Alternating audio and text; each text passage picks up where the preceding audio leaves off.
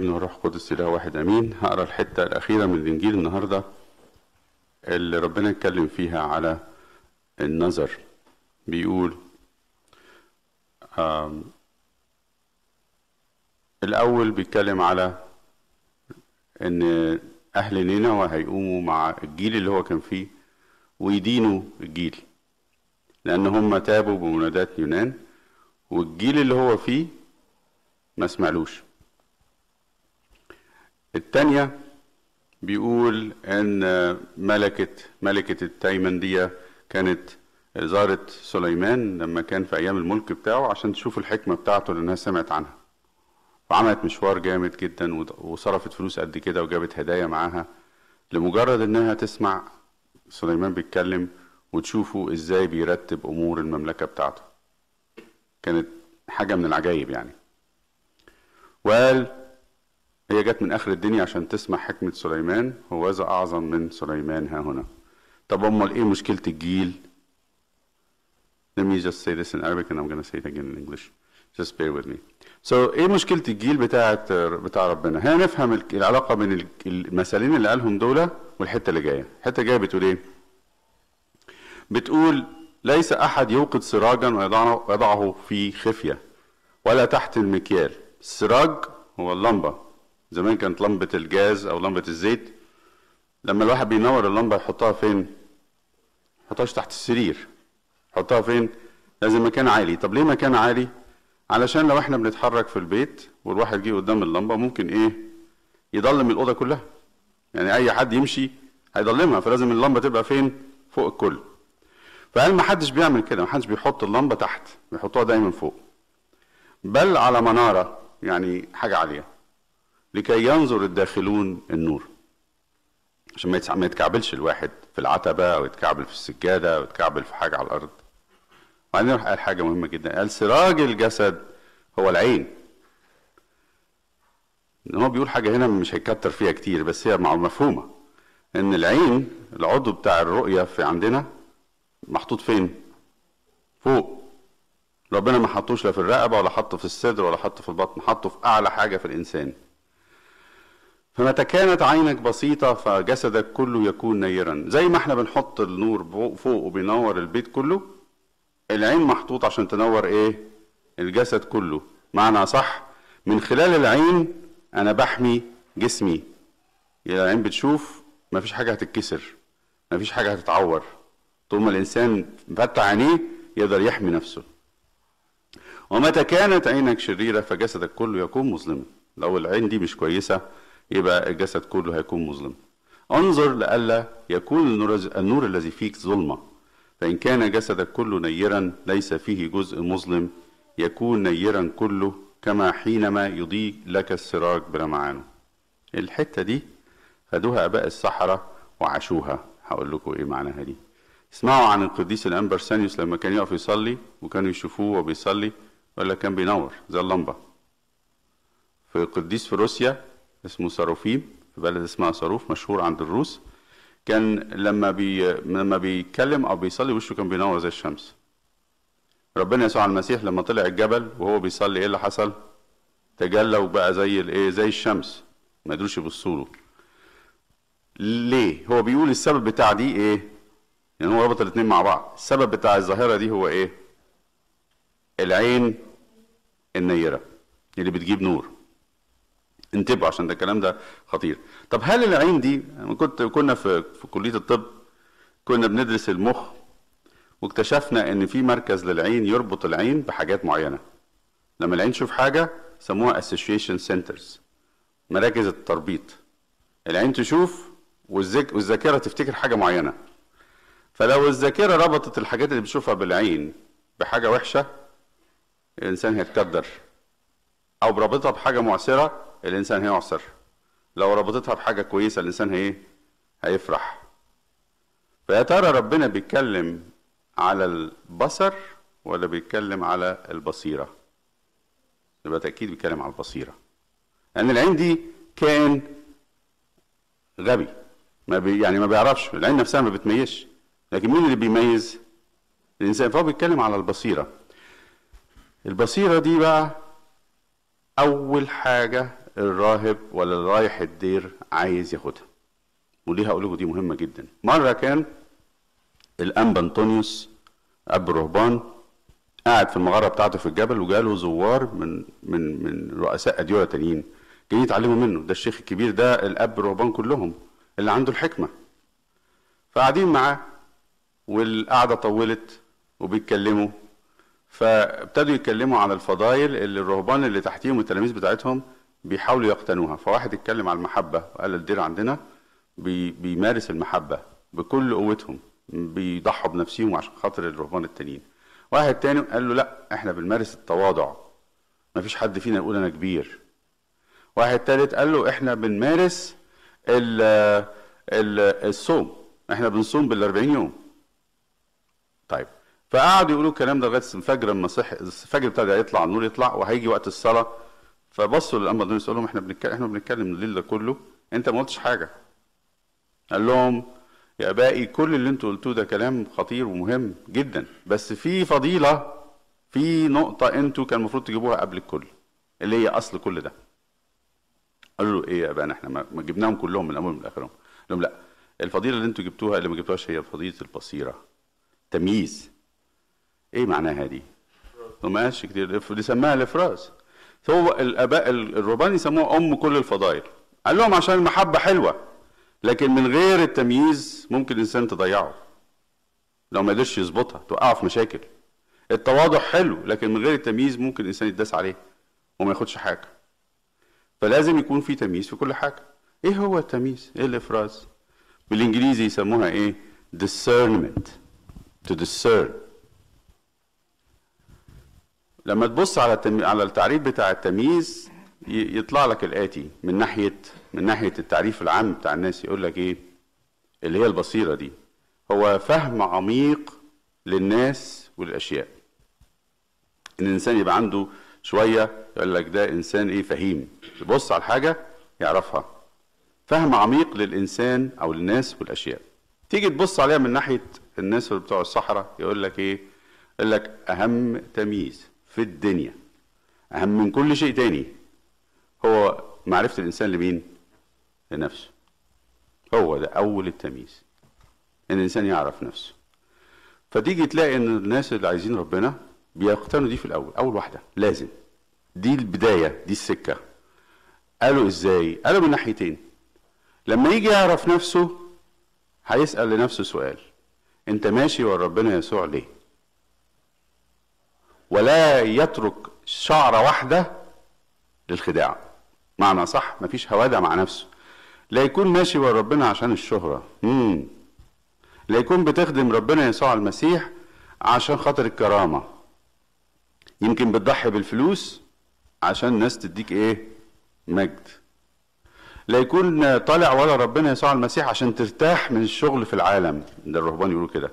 آه أنت طالع هنا جاي هنا عشان خاطر الحياة سهلة. تقعد هنا وتنام وتاكل وتشرب ومفيش حاجة بتتعمل. وما تفرقش معاك الحاجات التانية. هي دي السكة. في ناس كتير بتعمل أمور كتيرة يبدو إنها للخدمة لكن في الحقيقة هي إيه؟ بيخدموا مين؟ نفسهم إحنا منهم. كتير. واحدة من من الرهبات الكبار اسمها أم الأم سارة قالت كده. قالت في بداية الحياة الروحية الإنسان بيخدم نفسه كتير. لكن لما بيتقدم بيبتدي شوية شوية يكتشف إيه الخداع اللي في القصة دي؟ ويقلل من خداع نفسه ويبدأ يخدم ربنا أكتر.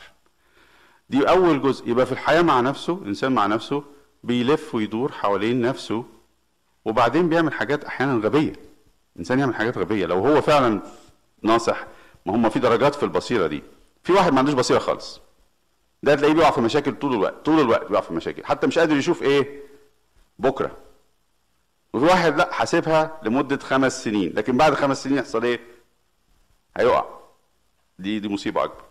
وفي واحد صريح مع نفسه وما بياخدش السكة السهلة وفاهم وبيدور يا ترى أنا ماشي ورا ربنا بجد ولا ماشي ورا مزاجي وأهوائي؟ دي بصيرة خطيرة جدا. يبقى من ناحية الإنسان مع نفسه مفيش هوادة مفيش في صليب. طب مع الناس الكلام الحلو بقى. يقول لك الناس البصيرة بتاعت الإنسان المسيحي مع الناس هي بصيرة ربنا. هي إيه اللي عايزه ربنا؟ كأنه هو طول الوقت بيبص بعينين مين؟ عشان كده الإنسان اللي عنده بصيرة في تعامله مع الناس عنده حاجتين. اولا ما بيشوفش حاجة وحشة لأن ربنا إيجابي ما بيشوفش حاجة وحشة ابدا. والتانية إيه؟ بيحب. ما يشوفش حاجة وحده وحشة وبيحب. زي أب وأم لما عيل يعمل حاجة غلط أنا اجري اتعصب واتشد ومدرسين المدرسة هيتعصبوا وتشد والأم تعمل إيه؟ تدافع وتدي إيه؟ عذر تدي عذر. دي بصيره ربنا. دايما ربنا بيلاقي لنا عذر. لما جه ابن الدار رجع عمل إيه؟ ما ما عملوش حاجة وحشة. الأخ الكبير كان عايز يعمل فيه إيه؟ هو ما عندوش بصيرة إن الأخ الكبير مشكلته إن هو بيخدم أبوه عشان مستني حاجة. الأب مش مستني حاجة. فالبصيرة بتاعت الأب هي بصيرة محبة بصيرة الله. فالإنسان المسيحي اللي عنده بصيرة الرؤية دي حاجتين بيعملهم. بيبقى قاسي مع نفسه عشان ما يفوتش لنفسه حاجة هتخرب الدنيا بعدين ويفهم كويس هو بيعمل كل حاجة ليه. وخلي بالكم الإنسان المسيحي آه عنده ريبة شك في دوافعه دايما. يا ترى لئلا يكون أنا بعمل ده عشان خاطر نفسي. مثلا دوكو إنسان أب مسيحي. عياله مش ماشيين صح. لما يتعصب قوي يقول إيه؟ استنى شوية ليكون أنا بتعصب عشان خاطر مين؟ عشان خاطر نفسي لأن هم مش معملين مش عاملين لي حساب. لما يقول مش عاملين لي حساب دي معناها إيه؟ بيقف الإنسان يقف ما يتسرعش وياخد الحكم الشديد ده عشان إيه؟ لئلا يكون بيدور في الآخر على نفسه. فدي بصيرة دي بصيرة. أم تتعصب على عيالها وتقول وتسمع كلمة كده في النص تفهمك بقى تفهم القصة تقول لهم إيه؟ أنتوا طلعتوني أم إيه؟ فاشلة. الله يبقى الموضوع مش عليهم ده الموضوع عليكي انت اللي عندها بصيرة تقول إيه؟ لا استنى أنا مش عايز أضيع العيال دول مش بتوعي دول وزن من ربنا.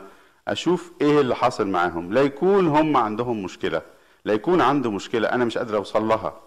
عشان كده ربنا يسوع المسيح اتكلم مع اليهود مرة وقال لهم إيه؟ لا تحكموا حسب الظاهر بل إيه؟ احكموا حكما عادلا. العدل يعني ان أنا اعرف كل حاجة ما تسرعش. لما يتكلم القديس بطرس يقول لك اللي مش عارف يعمل كده أعمى قص- قصير البصر. يعني إيه قصير البصر؟ يعني محتاج نظاره عارفين اللي عنده قصر نظر لازم يعمل إيه؟ يمقق عينه كده قريب قوي في ال- في الحاجة عشان خاطر يشوفها لأن هو شايفها مش شايف هو بتقول إيه؟ كتير. أنا دلوقتي ما بقدرش أشوف الحروف كويس وبيتهيألي بقرأ حاجة وهي حاجة تانية خالص. فالإنسان اللي عنده بصيرة يقدر يميز نفسه ويميز بس أهم واحدة هي تمييز النفس بيني وبينكم. اللي يقدر يميز نفسه حل مشكلة كبيرة جدا من المشاكل الكبيرة. حاجة من الحاجات الخطيرة اللي إحنا بنعملها اليومين دول وعشان كترت جدا هي حكاية ال counseling إيه اللي بيعمله ال counselor إيه اللي بيعملوه المحللين النفسيين والراجل أو الست اللي بتقعد معاهم عشان تعرف المشاكل اللي عندك إذا كان عندك depression depression جاي منين ونحله إزاي ونغير الطريقة إزاي؟ بيعملوا إيه؟ المطلوب منهم إيه؟ إيه المطلوب من ال counselor إنه يعرف مشكلتك. وما يعرفهاش ويقولها لك لا هو الأجدع بقى في ال counselor إنه يخليك يساعدك إنك إيه؟ تعرفها أنت. عشان كده لما حد يجي يقول لابونا ويطلب من ابونا ويطلب من counselor انه يقول له قول لي مشكلتي إيه أتعامل معاها إزاي؟ مش هو ده.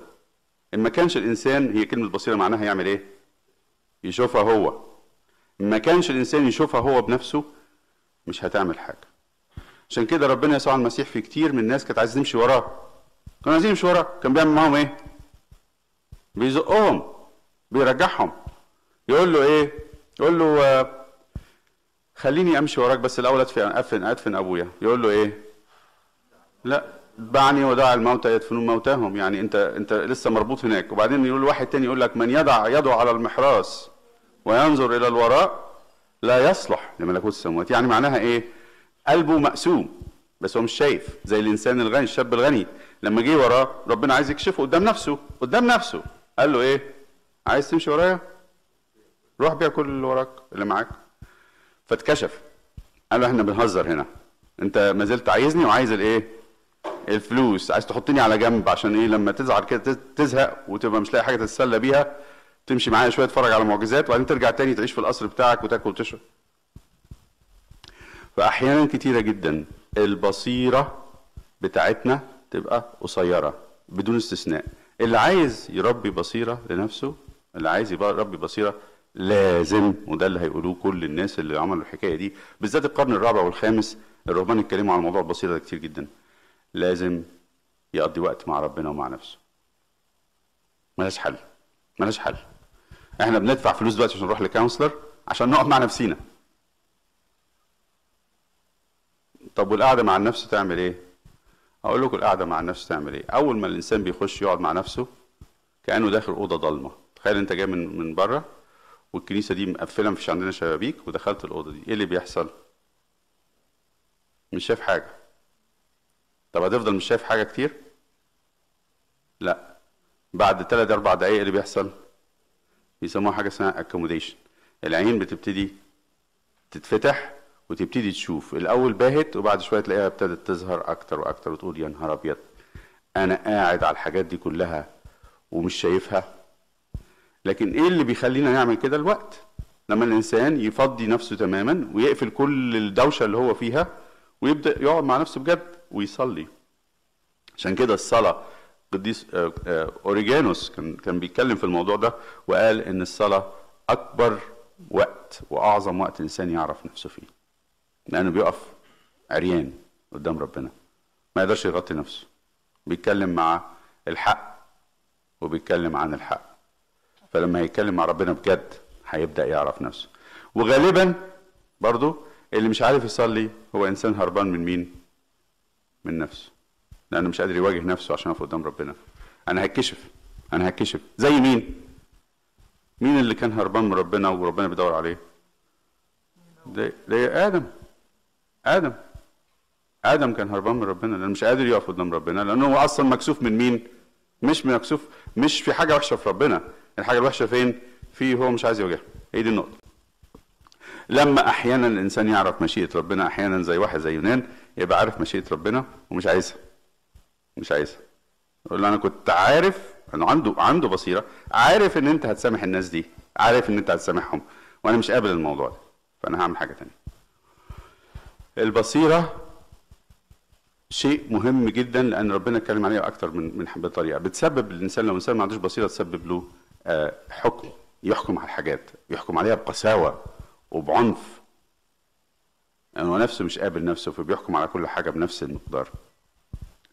وتخلينا نعمل حاجة يسموها الرياء إن إحنا نعمل أحكام افتراضية على الناس وإحنا عندنا نفس المشاكل. عشان كده ربنا اتكلم عليها في حتة البصيرة دي قال لك الأول شيل الإيه؟ الخشبة اللي في عينك قبل ما تقدر تشيل القذى الصغير اللي أنت شايفه في عين الآخر. يعني مش قادر أشيل الخشبة اللي في عيني فيبقى أسهل لي أشيل القذى وده بيعمل مشاكل. ده كله راجع للبصيرة برضو إن ما عندناش البصيرة الكافية. البصيرة مفقودة في الأجيال بتاعتنا تماما. كان زمان نروح الأديرة نقعد مع رهبان عندهم السنارة تحس بالمحبة وتحس زي مثلا القصة بتاعت موسى الأسود اللي أنا بسمع بحب أجيبها دايما. و- وارسانيا وسيزيروس لما خدوا وحبوا طبطب عليه ولقى فيه مين؟ القديس الشهيد. لقى في الأنبا موسى الأسود شافها. إن جواه في إيه؟ طب حد يقدر يشوف كده؟ دي معرفة عميقة جدا بالنفس. شاف جوه بعد الشر وبعد الإجرام وبعد القتل وبعد السرقة وبعد الزنا وبعد كل الحاجات دي شاف جوه في حاجة جامدة جدا مستنياه لما يصبر عليه. صبر عليه وانبا موسى اسود اتغير وبقى قديس دي بصيرة. دي بصيرة. ال- الرأي الرؤية بتاعت ربنا دي البصيرة. في النهاية هي إن الإنسان يعرف إرادة ربنا يعرفها بجد لنفسه الأول. ولو فاض عنه كمان شوية بقى يعني ربنا دعاه يقدر يشوفها للناس التانيين بس ما يقدرش يشوفها للناس التانيين هو مش شايفها لنفسه أصلا. In English today Jesus speaks about uh, the people in his generation. In Matthew especially he said they the, the people in the time of Solomon came from all over the world to listen to him and his wisdom. And, and a queen actually left her kingdom and she came to listen to Solomon. And he said, They're here, speaks about himself, is, is wiser than Solomon. He speaks speaks about Christ himself. And the second thing is the people of Nineveh repented by the calling of Jonah. And there is a greater than Jonah here. So why his generation is not listening? And he said it. He said because they have no insight. So what he said, he said a parable. He said, The eyes are made to be on top of the body so that the whole body can be protected and can be guided. If the eyes are high, I can walk to where I want. I can avoid danger. I can avoid to be hit. I can defend myself. So the high, the height of the, the place where the eye is is not something low. It's high. That means it's the beginning. It's the leader of all what I do. Is he talking about the physical eye? I don't think so. The physical eye is an organ. It's not really smart. We, when we were in studied something called association centers. The eye goes, sends impulses to a center in the brain, and that center associate the scene with a memory, or with a language, or with a motor. So I see something coming at me, there's a motor reflex that makes me bring my hand in front of my face. So that association center in my mind when I was in medicine, thought this was what Jesus is talking about. It's the insight. So it is not the sight, it is the insight. And another, another synonym for insight is discernment. What is insight and discernment? You look up that in the dictionary. It is the deep understanding of people and things. Deep, not superficial. When you look at discernment in the saying of the fathers of the desert, they tell you this is the beginning of all virtues. St. Anthony had given a very beautiful talk about discernment as the key and the mother of all other things that we need to do. Discernment is what makes love appropriate, what makes work appropriate, what makes eating and drinking appropriate. And the monks, they practice discernment every day. Uh, one of the fathers of the church, one of the great uh, scholars, Origen, said "The Discernment comes with self reflection and prayer. There's no way around that. When we don't have the discernment, we are quick to judge. We're quick to judge. And we make always the wrong judgment. Always. There's two types of discernment. The inward discernment is when a person looks at himself or herself. And usually it is a harsh discernment. Because the whole point of discernment is to avoid illusion fallacy, to give excuses to ourselves. Sometimes people go even serve God, but they have another motive. Discernment is mainly pointed at motives, why we do what we do. That's number one. The outward discernment that's pointed and focused on the others is a godly discernment.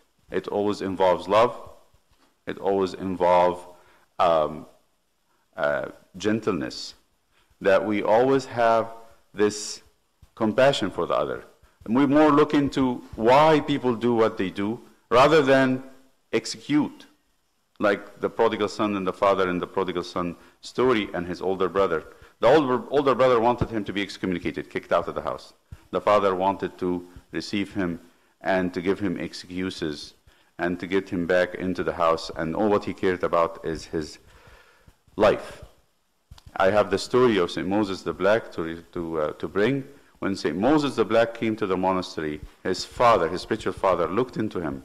And behind the gangmaster, behind the thief, behind the killer, behind the aggressiveness, behind all this, there was a saint and a martyr. And St. Isidorus, with this deep understanding of this man, could find that holy person and bring him out. So this is discernment.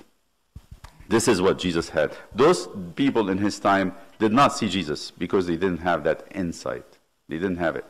They were always trying to get him out. And why? Because their own self is covered with a fallacy of religiousness, religiosity. But actually, deep inside of them, the motive was money and prestige and themselves. They really didn't really care much about God. And he had uncovered them many times. And when they got tired of him uncovering them all the time, they killed him. Why we have counselors today? Because we have lost our insight. And we go to the counselor and spend time and money so that they tell us who we are really and help us to find who we are really. It doesn't help for me to learn it from somebody. I don't want somebody to tell me, Abuna, you're a hypocrite. It's not going to help. What would help? Me finding it. Me seeing it. That's insight. The insight cannot be imposed. It has to be discovered. It has to be looked for. And a person can do that with two things a time in quietness a quiet time and prayer. That's all what it takes. When you start doing this with yourself, to find out why you do the things you do. Some, some of us are very angry at certain people. Some of us are unable to deal with, with some people. Some of us are avoiding certain situations. Why? I've never asked God why. I've never asked myself why. So I go into a quiet place and, and beg God to reveal it to me, and I spend time with myself. When you do this, it's coming like a dark room. When you come into a dark room in the beginning, you see nothing. But as after you spend time in that dark room, what happens? Our eyes starts to see. We, we have an accommodation. It's the same thing for the inside. We, our insight accommodates, and we start seeing things that we had not seen before, and then we learn a lot, a big deal about ourselves, and that helps us to deal with the world and the situation we're facing. Sometimes it takes courage to Courage. Let it come, whatever it is. I'm a coward, fine. I'm a hypocrite, it's okay. I am an adulteress or a, or a fornicator, that's fine. Why? Because reality. I'm going to take reality and deal with it. I don't want to be hiding any sickness in me.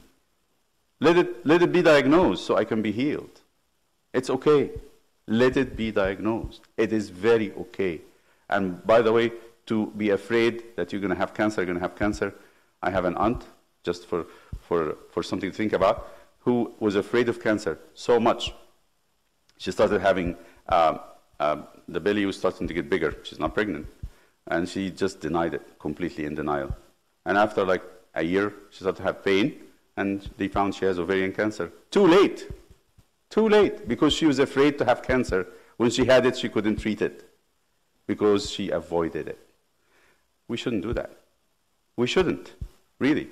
We should be brave enough to see what is wrong with us and to ask God to heal us and to seek healing, and God is going to heal us.